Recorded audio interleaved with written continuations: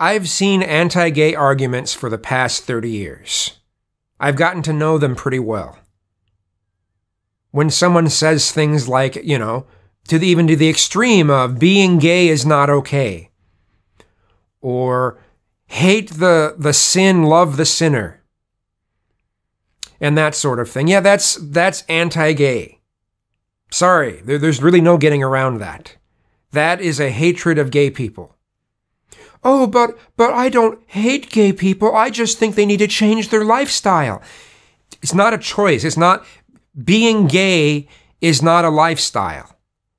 Now, if you're talking about uh, promiscuity, sure, that's a lifestyle, but that's not what being gay is. Being gay doesn't mean promiscuity. Now, I've talked about promiscuity in the gay community before. And you know, maybe I'll leave a link to to a video about that in the description bar. But that's not what being gay is. That's not what being part of the LGBT community means. Because there are plenty of straight people who are very promiscuous as well. And I don't hear you preaching against them. I don't hear you saying, "Oh, uh, hate the sinner." I mean, hate the sin, love the sinner. I, I don't. I don't see you saying that. That's because people like religious people like to pick and choose what parts of the Bible they like to follow. They especially like to use Leviticus, the book of Leviticus, to judge gay people and then forget about the things about shellfish and children talking back and mixed fibers and and that sort of thing, right? Now there are some things that have changed within LGBT activism. Instead of being about rights, it's now about making sure we teach children about LGBT. You know, and it's something that that in the 90s we used to say no no it's it's definitely not about recruiting it's definitely not about trying to, to teach this stuff to children but but lately it is and suddenly we're saying oh well what's wrong with with teaching children about diversity and it's just like well it's it's it's not just about that. I mean i've i've seen you know there's videos of of teaching kids how to twerk. There have been some drag queens that have wanted to read stories in a library to children, and we come to find out that some of them are uh, predators.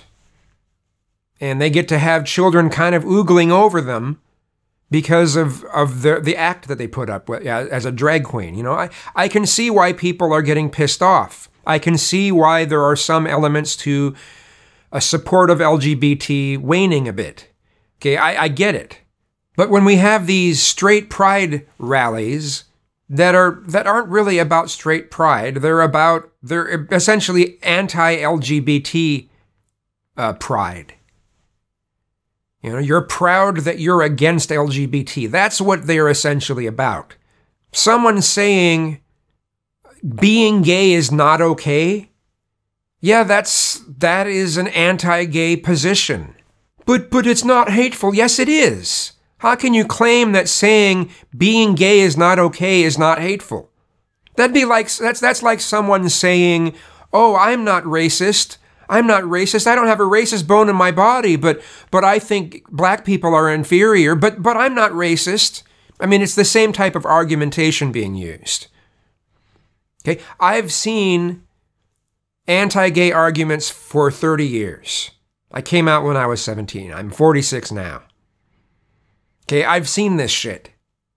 It saddens me that over the past couple years, especially since the Trump administration, this stuff has to, to come back up and we have to explain this stuff all over again. Now, I'm not going to fully blame this on Trump.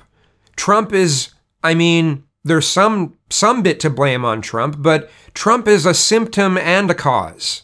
If our society wouldn't have been where it is now, Trump wouldn't have gotten elected. So, you know, I, I understand that.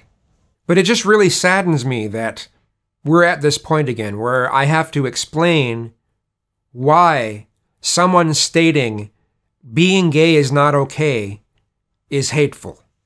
You know, I really thought we were past that. I really did. But with things drifting to the right, with society drifting to the right, they're now looking at religious values and religious ideology as not being as extreme as it is. It's sad that the left has gotten to the point where people on the right aren't viewed as extreme. It saddens me that so many people that are on the left can't see this.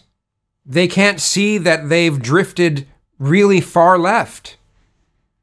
They think that they're pushing the same values they were in the 90s, and, and they're not.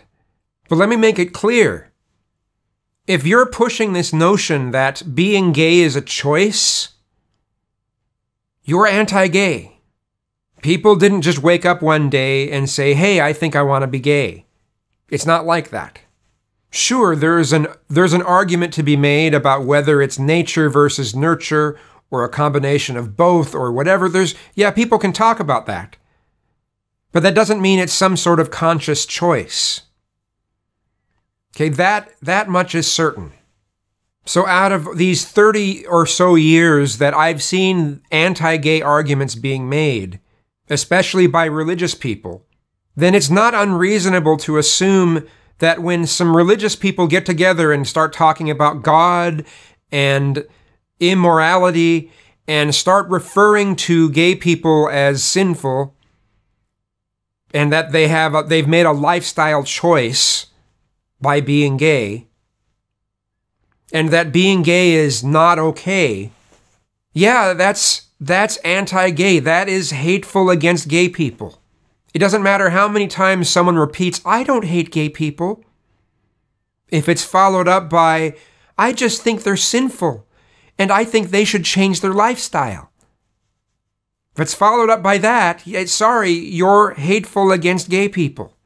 I know your religion doesn't allow you to break apart your own religion, but the rest of us who are outside of it can see it for what it is. Just saying.